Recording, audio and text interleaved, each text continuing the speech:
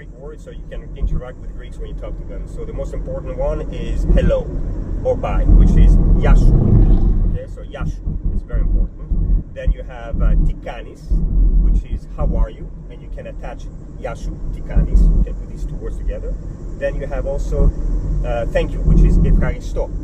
Okay, but it's very important. Like after each of these sentences or before, you have to use the word malaka. So you can say tikanis malaka, eh, yashu malaka, efkaristo malaka. So this word malaka is very important to put it uh, or before or after the word that you, I just touched. Okay, and also in some occasions you can say uh, po malaka kita tipo posin aftos. And those are special occasions, especially when you go to the beach, when you go kiting. Okay, so malaka is a very important word. Malaka means what? Malaka. Malaka, it's uh, only Greeks would understand. It's a nice word. It's like, hey man, you know, it's, it's something nice, you know. So, Ευχαριστώ, Malaka.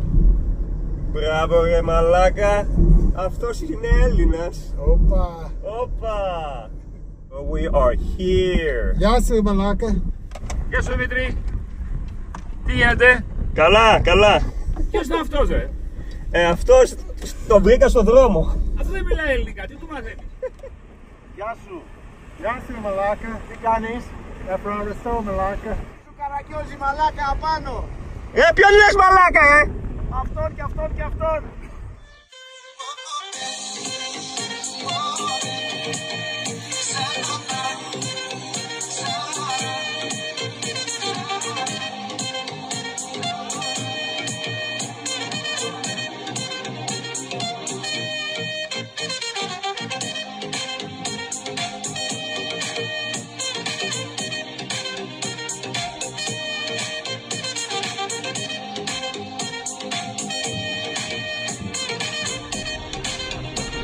Malaca!